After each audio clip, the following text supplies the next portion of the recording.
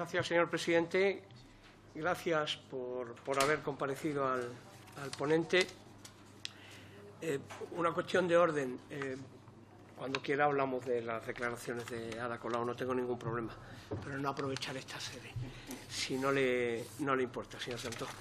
Eh, no voy a hacer ninguna pregunta. No voy a hacer ninguna pregunta porque sería temerario por mi parte afirmar o negar que lo que dice usted es cierto o afirmar o negar que la otra Cataluña que dibujan desde otros partidos políticos es cierta.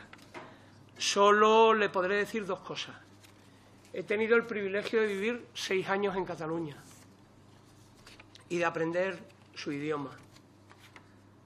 Y no he sentido amenazada o amenazado ninguno de mis derechos fundamentales durante esos seis años que he vivido en Cataluña. Segunda cuestión, he ejercido como juez en Cataluña y le puedo garantizar una cosa, no es ni una pregunta ni entrar en debate.